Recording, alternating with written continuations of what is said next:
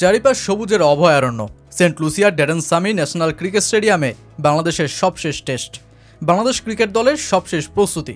একপাশে তামিমের ব্যাটিং অনুশীলন, অন্য পাশে সাকিবের। টপ অর্ডারের বেহাল দশায় সিনিয়র এই দুয়ের কাঁধে মস্ত বড় চাপ। সেন্ট লুসিয়ার এ মাঠে টপ অর্ডারের ধস থামাতে বড় চেষ্টায় বাংলাদেশ। দীর্ঘ আঠেরো বছর আগের সেই স্মৃতি ফেরাতে মরিয়া টাইগাররা। সাকিবের দল কি তা পারবে? ব্যাটিংয়ের মতন ফিল্ডিংয়েও বড় দুশ্চিন্তার টাইগারদের। উইকেটের পেছনে একের পর এক ক্যাচ মিসে সুযোগ হারাচ্ছে লাল সবুজ বাহিনীরা। তাই ক্যাচিং প্র্যাকটিসে বড় মনোযোগী টাইগার শিবির।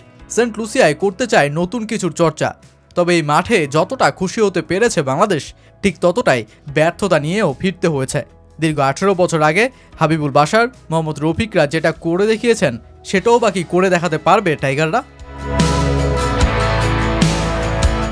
দু হাজার চার সালের আটাশ মে বাংলাদেশ দল প্রথমবার ওয়েস্ট ইন্ডিজের সাদা পোশাকে টেস্ট খেলতে নামে তৎকালীন বসে যায় ক্রিকেট গ্রাউন্ডে, যেটাই এখন নাম বদলে হয়েছে দুইবারের টি টোয়েন্টি বিশ্বকাপ জয়ী অধিনায়ক ড্যারেন সামি নামে।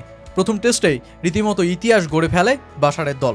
প্রথম ইনিংসে বাসার ও রফিকের দুই সেঞ্চুরি, সাথে মোহাম্মদ আশরাফুলের একাশি রানের ইনিংস।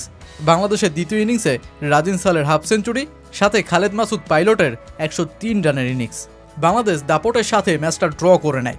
তবে সেই সুখস্মৃতি দ্বিতীয়বারের এই মাঠে ভ্রমণেই ম্লান হয়ে যায়। দশ বছর পর এ মাঠেই মুশফিকের অধিনায়কত্বে বাংলাদেশ ভোগে চরম ব্যাটিং আর বোলিং ব্যর্থতায়।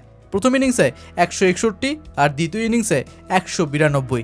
ওয়েস্ট ইন্ডিজ ম্যাচটা জিতে নেয় দুশো ছিয়ানব্বই রানে। এবারও বাংলাদেশ সেই পুরনো দুর্দশা নিয়েই ভিড়ছে সেই মাঠে। তবে এবার দলের দায়িত্বে অধিনায়ক সাকিব, সেন্ট লুসিয়ায় ভালো শুরু চিন্তায় এই অধিনায়ক।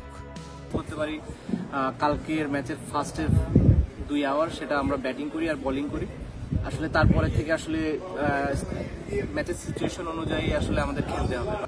উইকেট নিয়ে বরাবরই থাকে কৌতূহল। সেন্ট লুসিয়ার এই উইকেটেই বাংলাদেশের খেলা। সাকিবের ধারণা অ্যান্টিকা থেকে বেশ ভালো পিচ হবে ড্যারেন সামি ক্রিকেট স্টেডিয়ামে। পিচ হবে ব্যাটিংয়ের এর জন্য।